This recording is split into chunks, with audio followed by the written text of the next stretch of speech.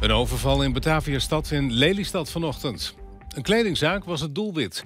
De politie wist al snel twee verdachten aan te houden. Duizenden christenen bezoeken komend weekend weer de Pinksterconferentie Opwekking. De organisatie verwacht een record aantal kampeerders op het christelijke evenement. En bij Nagelen staat een grote akker vol met gele bloemetjes. Het gaat om koolzaad en dat is daar geplant om de kwaliteit van de bodem te verbeteren. Het is maandag 22 mei. Dit is Flevoland. Goedenavond. De politie heeft vanochtend twee personen aangehouden voor een overval in Bataviastad in Lelystad. De twee verdachten zouden rond 9 uur de Kelvin Klein winkel aan het Bataviaplein hebben overvallen. En op het moment van de overval waren de winkels in de fashion outlet nog niet geopend voor het winkelend publiek. De politie had een gedeelte buiten Bataviastad afgezet met linten. Of er nog meer mensen betrokken zijn geweest bij de overval is onbekend. Tegen de buitenmuur van de fashion outlet stond een ladder. Het is nog onduidelijk of deze is gebruikt door de overvallers. Jongeren die door jeugdzorg in Almere zijn opgevangen... voelen zich in de steek gelaten en niet gehoord. Nadat er lange tijd vaak over jongeren gesproken werd... vertellen ze nu zelf hoe ze jeugdzorg ervaren. Onlangs sprak een groep jongeren met de Almeerse gemeenteraad... over de jeugdzorg in de stad. Sharili en Shaquille zijn als kind het huis uitgeplaatst omdat het voor hun niet veilig was om thuis te blijven wonen. Via jeugdzorg Almere kregen ze onderdak, maar dat ging niet echt lekker. En nog steeds is het moeilijk om een dak boven het hoofd te vinden. De 21-jarige Shaquille wou per se zijn verhaal hier op het Floriade-terrein doen. Zoals je ziet hier in Floriade worden huizen gebouwd van een halve ton die wij als jongeren niet kunnen betalen. Als je daar aan de andere kant van het water kijkt, zie je daar zo, ja, Esplanade. Daar lopen heel veel jongeren elke dag en wij zien dit. Dingen die wij niet kunnen betalen. Wij wonen op straat.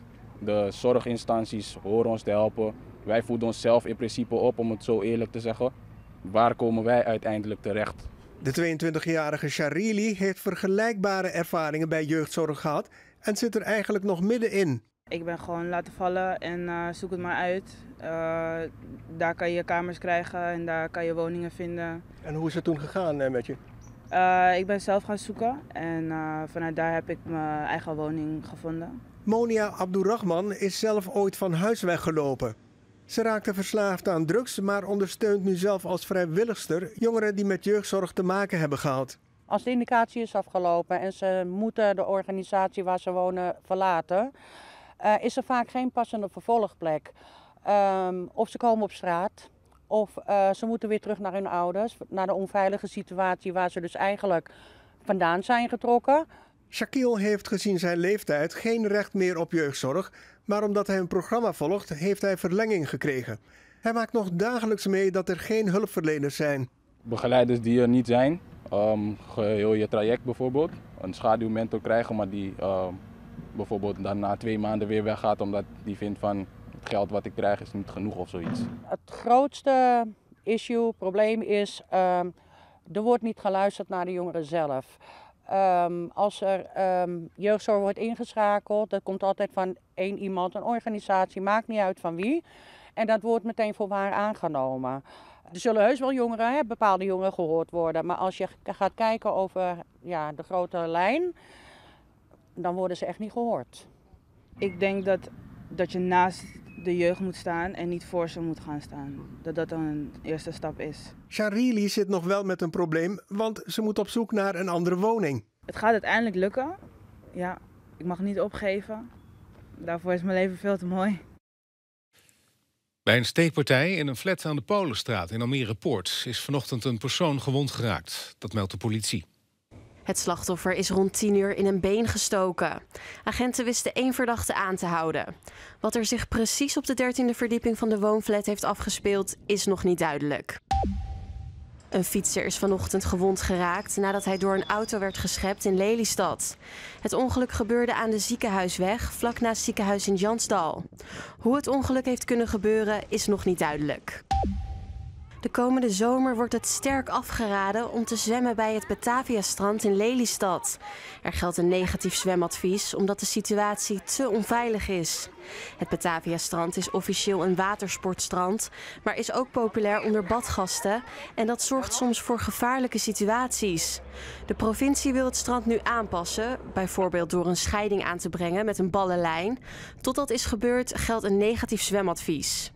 Naast het Batavia-strand wordt het deze zomer ook afgeraden om te zwemmen bij het bovenwater in Lelystad, bij het beachstrand Eemhof en het Lanterstrand bij Zeewolde. Dit vanwege de slechte waterkwaliteit.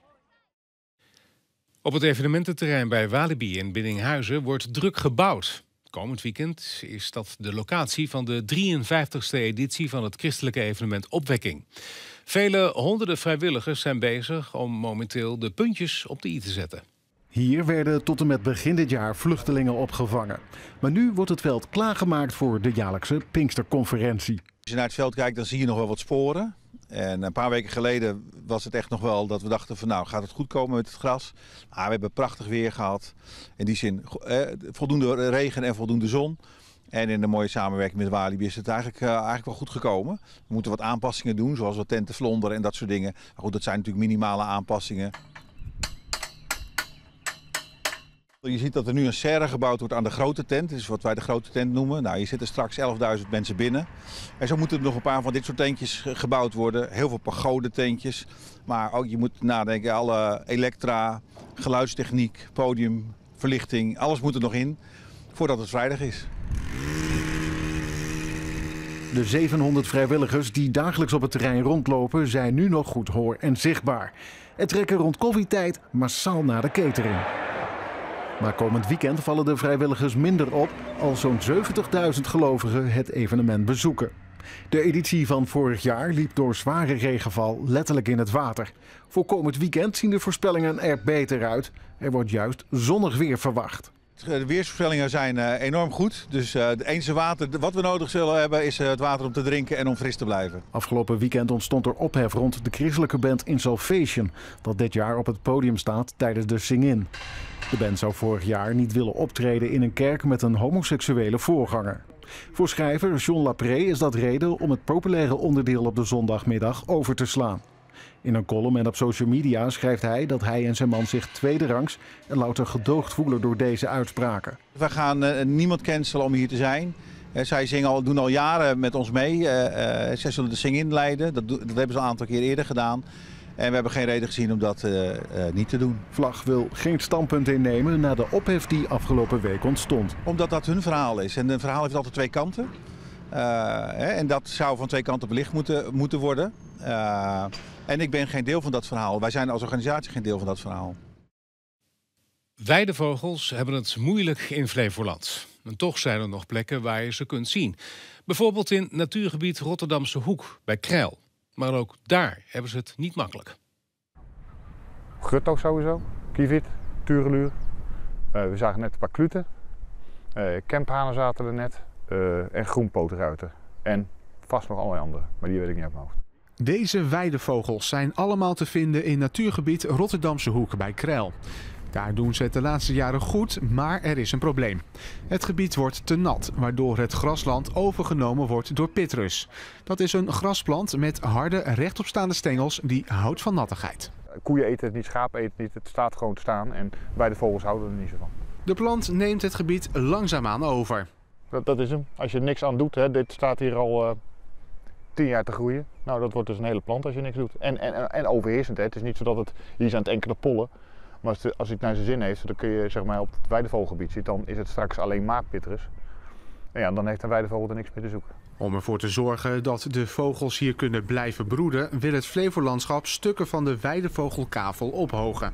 We beginnen dus om te zorgen dat we het bodemleven uh, wat meer ruimte geven om op te drogen. Dus we willen de grond die hier ligt, waar we nu op staan, daar inbrengen in uh, rillen van ongeveer 30 centimeter hoog. Meer zal het niet zijn, want dan wordt het weer verstorend voor de weidevogels. En uh, ervoor zorgen dat er greppels komen, zodat het water zich daarin kan verzamelen, dat het ook weer de rest van de kavel beter opdroogt. De grond die daarvoor nodig is, wordt op andere plekken weggehaald. Hier rondom de moerasplas heb je uh, mooie wandelpaden lopen.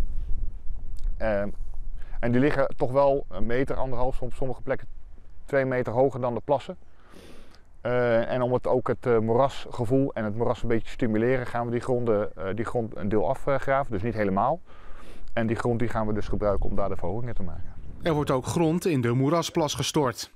om het her en wat ondieper te maken, zodat het riet zich wat sneller de plas in kan groeien. Ja, want we zien hier een rietkraag en ja. die willen jullie eigenlijk groter hebben. Nog. Ja, eigenlijk is er nu nog meer water dan riet. Maar straks moet het andersom zijn. Meer riet dan water. 70% van die plassen moet eigenlijk dicht groeien met riet en in het midden een stukje open blijven. De werkzaamheden starten na het broedseizoen in augustus. Het gebied wordt dan afgesloten voor bezoekers. In oktober moet alles klaar zijn. De berben in Flevoland die kleuren deze tijd van het jaar geel. En dat komt mede door koolzaad. Een plantje dat van oudsher veel gebruikt is in de polder. Velden vol zie je er alleen bijna nooit meer van. Maar aan de Schokkeringweg bij Nagelen staat dit voorjaar een hele akker gevuld met de gele bloemetjes. Het is een unicum om dit te zien, 12 hectare koolzaad. Agrariër Arjo Jansen tilt het gewas voor de eerste keer. Het is volgens hem vooral goed voor de bodemkwaliteit. Het is een goede plant voor de grond, voor de verduurzaming van de grond en om de grond te verbeteren. En dat hebben we ook gewoon nodig in de polder. Want de vorige generatie uh, voor ons heeft heel intensief geteeld. En wij gaan terug in teelten wat extensiever boeren. Om die bodem weer tot leven te brengen. Koolzaad heeft grote penwortels die zuurstof in de grond brengen. De plant trekt ook veel insecten aan, wat goed is voor de biodiversiteit. Daarom werd hij vroeger ook veel gebruikt. Eigenlijk is hier de polder mee ontgonnen met deze plant, zeg maar. Uh, toen de, de polders zijn drooggelegd, uh, na de drooglegging is er heel veel koolzaad gezaaid. Puur om die penwortel, om die, om die structuur in die grond te brengen. Om die organische stof, eh, wat die plant met zich meebrengt, ook in die bodem te brengen. En natuurlijk, ja, ik als klein jochie liep daar rond. Het was een prachtig gezicht in Zeewolde toen we af en toe op bezoek gingen daar. De plant is niet alleen goed voor de grond, hij levert tegenwoordig ook wat op. Je kunt er namelijk koolzaadolie van maken. Dit levert ongeveer uh, 5 ton aan koolzaadbolletjes op. Uh, en van die koolzaadbolletjes, ja, daar kan je olie van persen. Ik heb begrepen van elke 3 liter koolzaadbolletjes kan je 1 liter olie maken. En die olie kan je biodiesel van maken, maar hij kan ook uh, als sojaolie vervangen op je met bakken en braden. Dus daar kan je het ook voor gebruiken. De olie is in trek en Jansen verwacht er een goede prijs voor te kunnen krijgen. Mocht je nu denken, dat kan ik zelf ook en het plantje uit de berm willen plukken, helaas, dat is net niet de goede soort. Het is waarschijnlijk wel het zusje of het broertje of zusje van de plant. Het is meer de, de raap soort, zeg maar. Uh, maar daar kan je niet echt koolzaad van maken of koolzaadolie. Dus dat raad ik niet aan om mensen dat te oosten om dat dan uh, te gaan persen en dan op te gaan eten. Dat denk ik niet. Nee, we moeten niet massaal de berm in. Nee, nee. nee. Maar wel van genieten.